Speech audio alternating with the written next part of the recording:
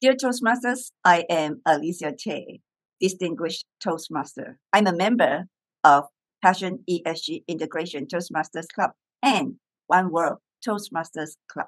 I want to help you do your pathways projects. Before I begin, I would like to suggest that you think about these two key questions. Number one, are you here to do a project, a speech project, or to learn public speaking skills? I suggest you think about these two questions because the outcomes will be different. When your mind is focusing on doing a project, you would likely ignore or not paying enough attention on meeting the objective. If you are here to learn public speaking skills, you will certainly want to make sure you meet the objective of every speech project because it is by meeting every speech objectives you learn the skills. In every speech, we learn one key skill and accumulatively you will learn all the skills and be a good public speaker. Otherwise, you will be just running through one by one, one speech by one speech, and not truly learning the skills. How do you know? You can check it out at the end of every speech or every three, six months, one year. You do a review. Be honest to yourself. Ask yourself if you have improved, if you have made good progress.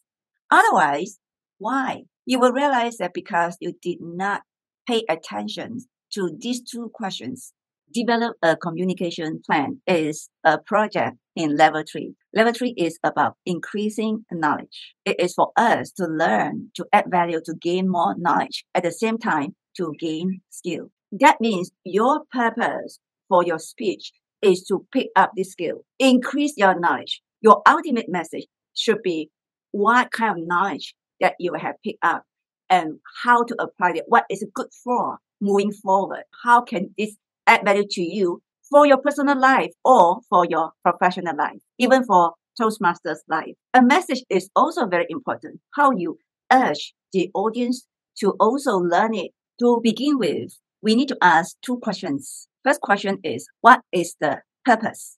What is the objective? It says that the purpose is to practice developing a communication plan. You might wonder, why do we need to have a communication plan? Let's read the overview. The overview is the elaboration. You can get more information there. In this project, develop a communication plan can be any event in any situation. It can be a real situation or a hypothetical situation. Nonetheless, see this.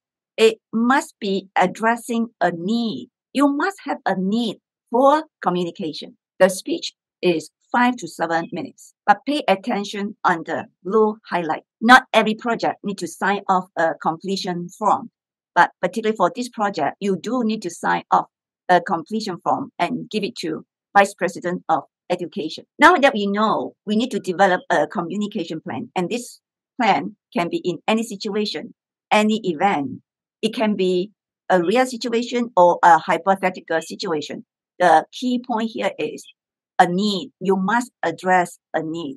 It is for five to seven minutes. And also, you must submit a completion form to Vice President of Education. Now, the second what is what is it for me to learn? At the end of the project, what are the competencies I need to gain? You can see that first, we must learn how to formulate a central message. That is a need that you need to communicate to the person. You are addressing a need.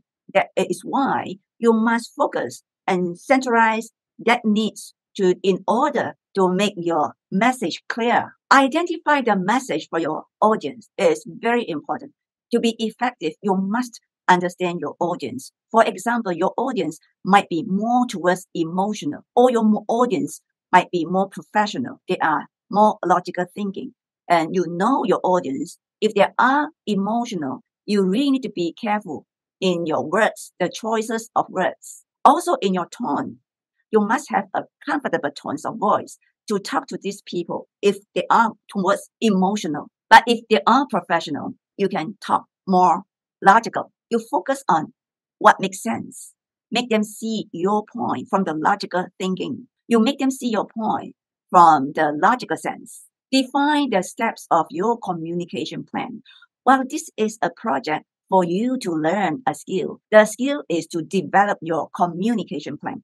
When that is a skill, there must be steps to follow. You can see to develop a plan, first, we must have a goal.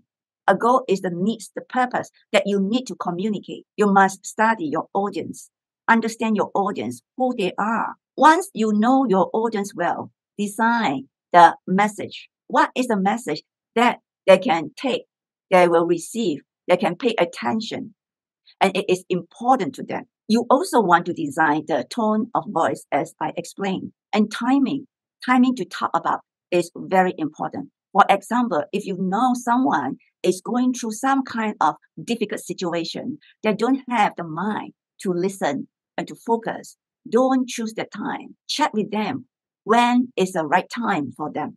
Get their mind settled and focused. Last but not least, identify your form of communication. Do you want to talk to them in person? Do you feel is it more effective to talk to them in person? If so, you want to set up meeting and talk to them face to face. Or do you think it is better to do it online due to distances? If you cannot have it in person, I guess the second best choice is online. Online, like Zoom, we still can see each other. When you deliver the speech, it is very important to explain why, or the why, how, what is it. Other methods could be social medias, marketing, or you just want to project a message loud and clear. Choose the form of your communication. I use communication planning a lot in my coaching. I listen first. It's always good to begin with listening. I also plan the tone of my voice and the timing. All these are very important planning. I hope it helps. Remember, don't memorize your speech. Write it in a point form and then practice it, rehearse it. When you are eating, you can rehearse it in your mind. When you're showering, only five to seven minutes. Yes, this is five to seven minutes. Practice it within five to seven minutes. As you know, if you don't practice enough, you will very likely to exceed five to seven minutes and immediately people know that you did not practice enough. Or you might speak less than five minutes, then you will not be qualified. Remember, the biggest secret of public speaking is to practice, practice, practice, make perfect. All the best to you. If you have time, I encourage you to read through the entire manual. There are a lot more things to read this video is to prepare you when you don't have time to read, or if you have read it, you don't really get the point and understand, then you can watch this video. It give you a very direct guidance. Most importantly is enjoy your speech. Speak from your heart.